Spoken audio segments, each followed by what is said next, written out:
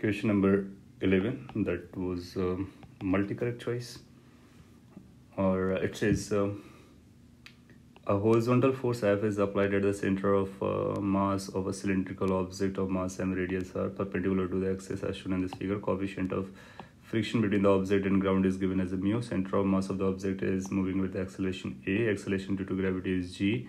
Given that the object is rolling without slip, and we need to find the correct statements out of the four given statements. So uh, first we can make this uh, uh, equation simplified. And uh, for that say we need to draw the free body diagram of object and we need to write the forces. You'll find external force is going to be there gravitational force is going to be there normal force is going to be there friction is going to be in backward direction.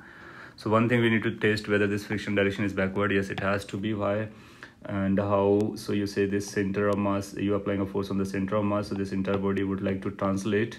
Hence this point will be having tendency to move forward hence friction has to be in backward direction. It's just like front wheel of your bicycle which is free. So um, friction is backward good.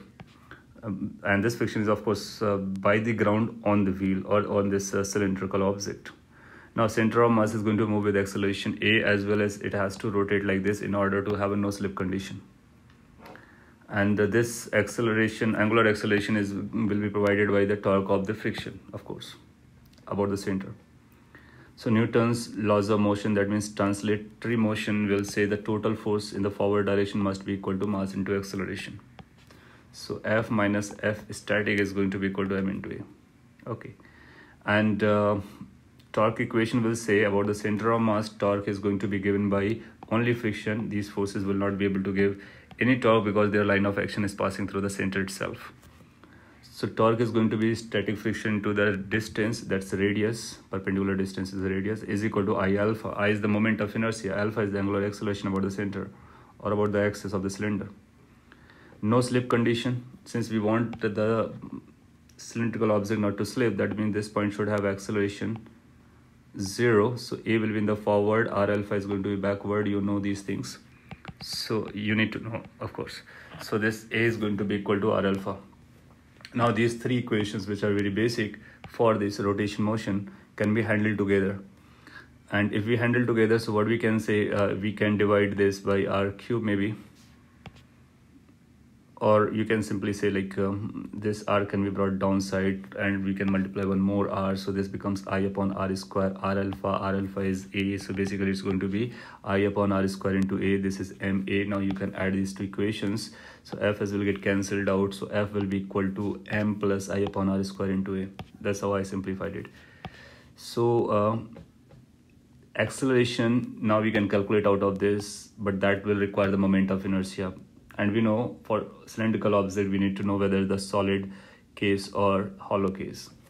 So if it is solid cylinder that means solid case we are considering then moment of inertia is going to be about its axis mr square by 2 and then the acceleration turn out to be if you put this i is equal to mr square by 2 so this become m by 2 so overall number this become 3m by 2 so a becomes 2m uh, 2f upon 3m similarly for hollow case we can check moment of inertia becomes mr square. We know that. So it becomes m plus m that is 2m so acceleration is f upon twice m. Now we got to know acceleration. Now let's see options what they are asking for. First option reads uh, for the same f whatever the force we have applied the value of a does not depend on whether the cylinder is solid or hollow see the two cases and we are getting the different answers that means acceleration value depends on the case whether it's a solid or not. That means a is not a correct choice or correct statement. Now b says for a solid cylinder maximum possible value of a would be what? Now what we have calculated from here that is uh, a value dependent on uh, force f. But it says maximum we need to find now read this equation, second equation separately. So from that we can say Fs is static force is going to be I upon R square. I just uh, explained. Now we uh, say that uh, static friction is a self-adjusting. So depending upon force F, this will be adjusting itself. But for a particular value of F, it can reach to its max value when f reaches to max uh, this fs reaches to its max value this number is a constant so a reaches to its max value that's what it is trying to ask.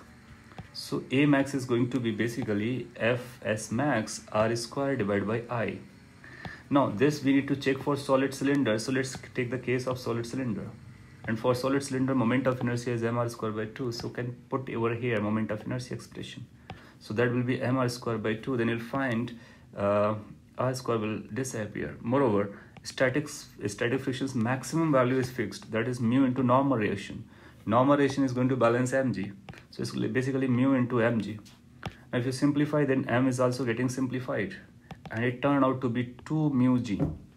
So what we got is the maximum possible acceleration for no slip condition. In case of solid cylinder it's going to be twice mu g. By the way option b says the same thing. Hence b is going to be the correct choice.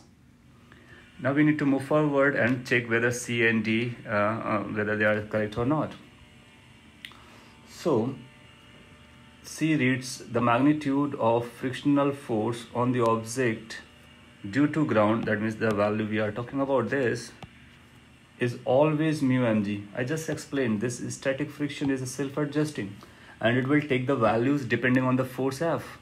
Basically depending on the value of a which depends on the force. So it can take values from ranging from 0 onwards and up to maximum value which is mu mg so its max value is mu mg but not always not always it says always so statement C is wrong, not correct. Got it? And the D option says for a thin walled hollow shell cylinder. So we talked about a hollow cylinder case, right? Acceleration value is going to be F by 2m. Yes, we calculated and it was indeed F by 2m. Means option D is also correct. So finally we are getting option D to be correct, option B to be correct, option A to be incorrect and option C is also incorrect. So B and D are the right responses. Thank you.